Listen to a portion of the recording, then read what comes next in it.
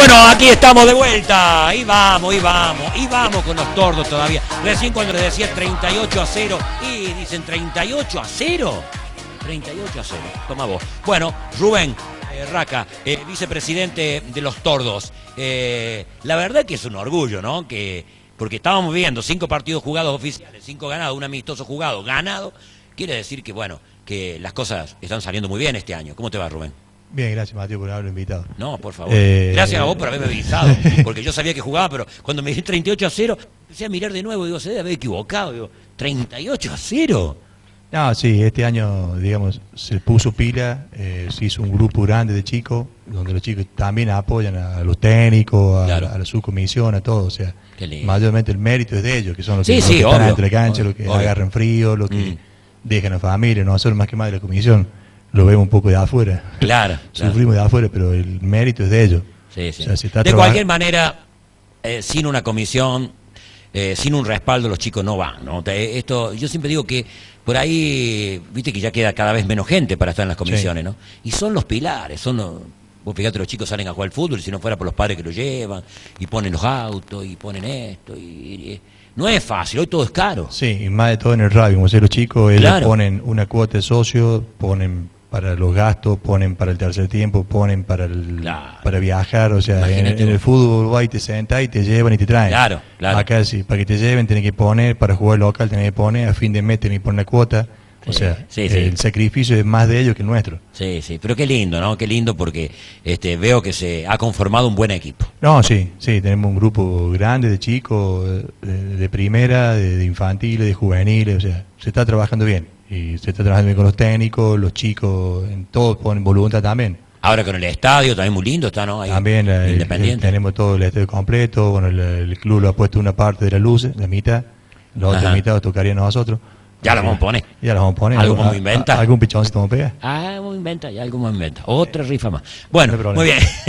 Eh, vamos a charlar un poquito con Gonzalo Quintero, que es jugador del primer equipo y además me decía que también está entrenando a los otros más chicos. Bueno, Gonzalo, eh, buenas tardes, ¿cómo te va? ¿Cómo te va, Mateo? Buenas tardes. Gonzalo, eh, ¿cómo se hace para ganar 38 a 0? ¿Ni uno le dejaron, ni un tanto le dijeron hacer los otros? No, fue, fue duro porque ellos en un principio, en el primer tiempo, se venían duros Ajá. y no jugaban mal. Lo que pasa es que, eh, bueno, nosotros con una buena defensa y todo el grupo bien, bien constituido, armado, lo- logramos defender ese momento y anímicamente ellos se, Se cayeron. cuando se cayeron un poco, sí, salió el, Claro.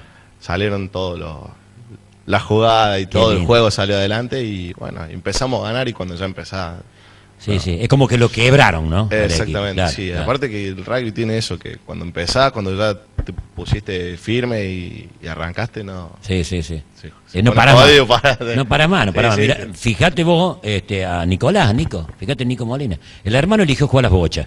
Este viene con dos muletas al programa, juega al rugby.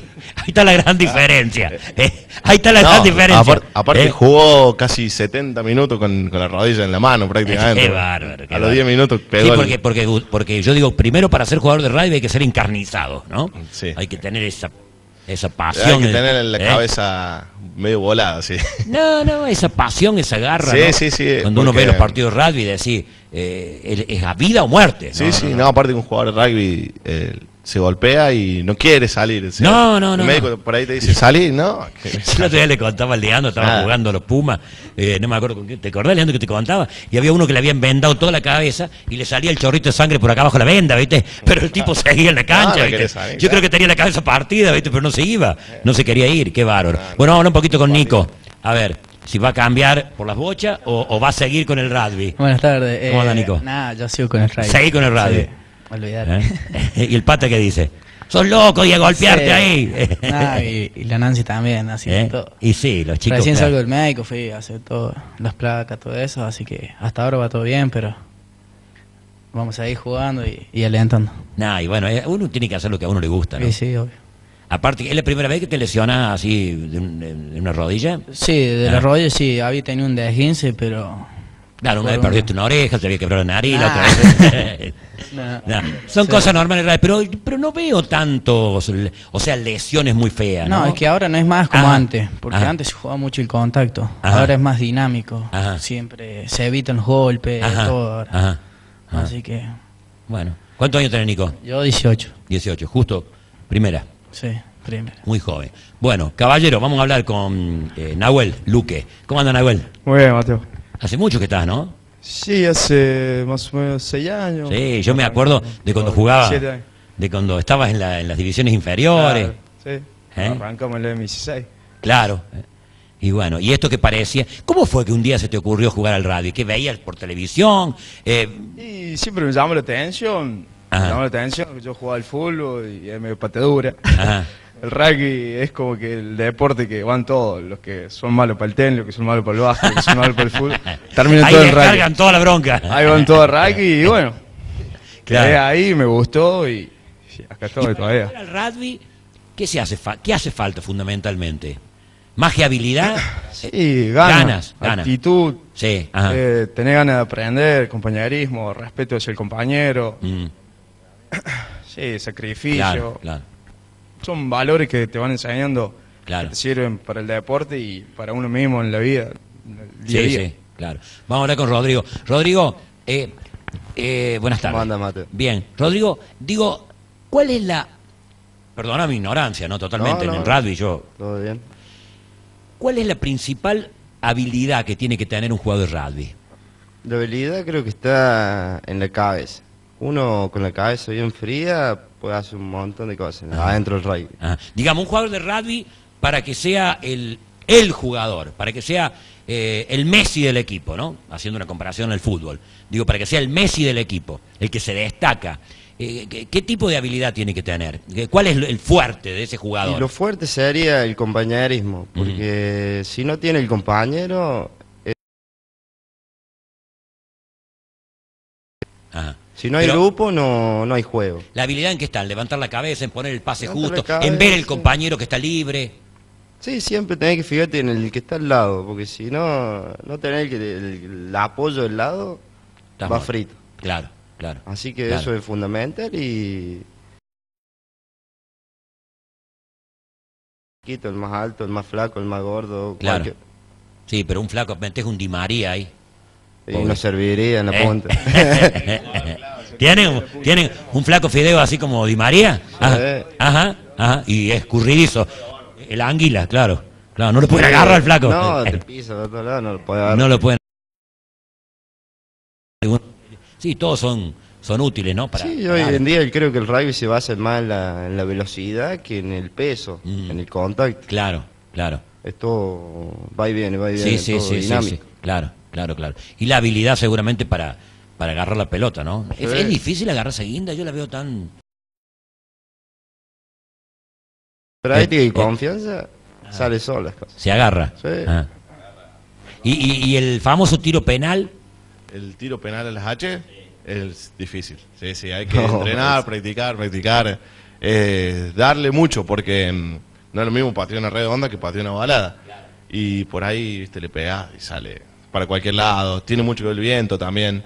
Con ese con esa pelota, con el rugby, digamos. Sí se complica cuando... y le ponen abajo como una cosita, como un aparato... Un tic. Se llama TIC, tiene una, un circuito. Cita, digo yo. Es un circulito con cuatro, cuatro popitos que sostienen la pelota. Pero sí, igual es jodido. Hay que practicarlo y generalmente en el equipo hay No uno, dos o tres que son pateadores. Que son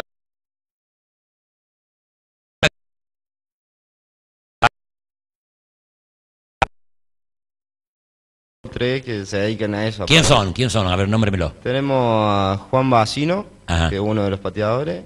Está Jonathan Raca. Sí.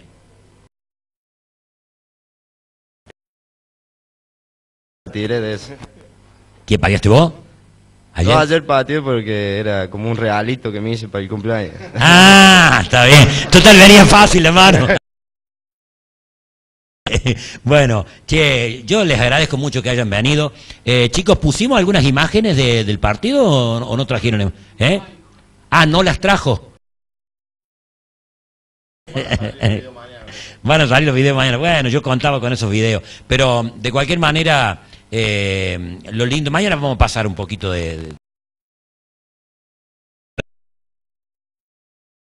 prepararlo. Pero digo, lo más importante de todo esto eh, por lo que ustedes me dicen, el compañerismo, el equipo, es la garra, el grupo. El grupo, el grupo porque el rugby se juega en grupo.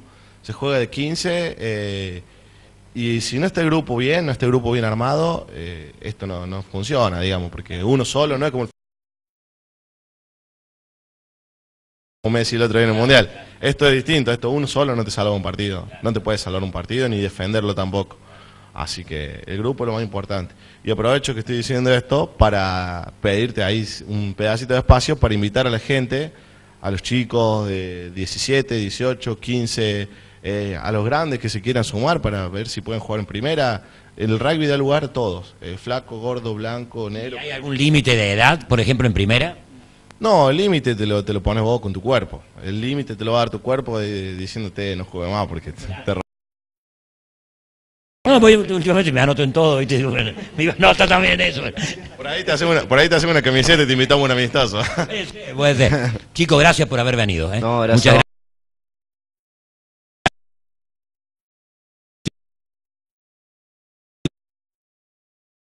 Y por lo menos lleguemos unos mil para completar las luces. No, también quiero decir, como sé, Loki, eh, él está dando, tenemos un grupo de chicas también, se está formando un grupo Ah, cierto, de, que de está radio femenino. femenino.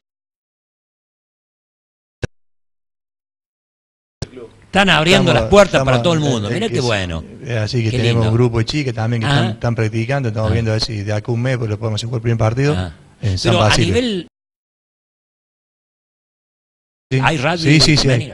El- hay mundial de rugby femenino. Mira sí, vos, sí, sí. Así Ah, que hay un grupo de chicas que Está bien. novia, amiga de, Claro. de los mujeres, de los mismos jugadores. Claro, que- claro, que dice, estos tipos se van Claro, solos, de aquí basta. está. Que se van, claro, no, visto, acá, ah, ah, se van a San... Cañazo. Pero no, no, hay un grupo de chicas también que se, le ha gustado, bueno.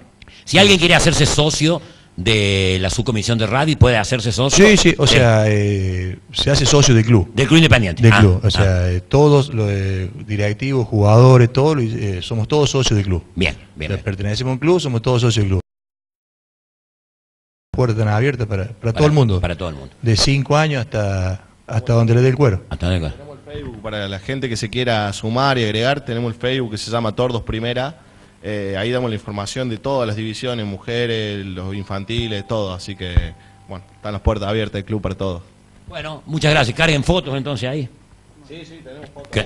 Tenemos fotos ahí para que vean del- de los partidos, de, de todos los partidos vamos subiendo fotos cada domingo, así que... ¿Te subieron ya o no? Eh, sí, hay creo que 4 o 5 que subió Ariel ahí. Eh, acá tenemos, Leandro. Eh, Tordos, Tordos, primera. Ahí está, acá. A ver. De nosotros, Leandro. Mirá, ahí está, ahí está, ahí está, ahí está. Ahí está. El 1, apriete el 1 acá. 1, inciso 4, barra 7. ¿Te imaginas cuando se vaya José Manuel? El Bueno, Ese, ese fue un- son del otro partido anterior. Ajá. Del partido con Embalse. sí. Esos son, Ajá. Bueno, mira, tenemos una fotito por lo menos para mostrar. Mira qué lindo, mira qué lindo. Bueno, o sea que tienen un grupo hermoso, hermoso. Que va a colaborar. No nos olvidemos de la gente que va a colaborar también, eh, Fabio, Yamila, toda la gente que siempre nos están dando una mano con, el, con la parte de afuera del campo, digamos. Diciendo hay que quebrar al 8. Bueno, eh, chicos, gracias por venir. ¿eh? No, Muchas gracias a gracias. vos, Mateo, por invitarme. y bueno, cuando necesiten algo en lo que podamos, les damos una mano. Que ya viene más material, tengo la fiesta de estudiante que cumplió 75 años, no la puedo dejar pasar de largo. Ahí volvemos. Radio Imagen, un programa de radio, pero con... Mateo, Mateo,